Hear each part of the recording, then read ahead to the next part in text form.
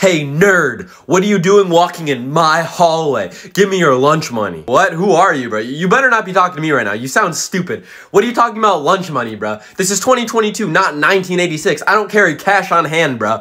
We got ID cards and we scan them. That's how we buy lunch. I'm the captain of the football team, so you better put some respect on my name, you dweeb and figure something out because I need my money. Hey, bro, number one, you're the first person I've ever heard actually use the word dweeb. Didn't even realize that word existed. Honestly, bro, you should get an award for that because you sound stupid. Number two, our football team must be the worst in the state. Honestly, bro, it must be the worst in the nation. It's just ass, okay?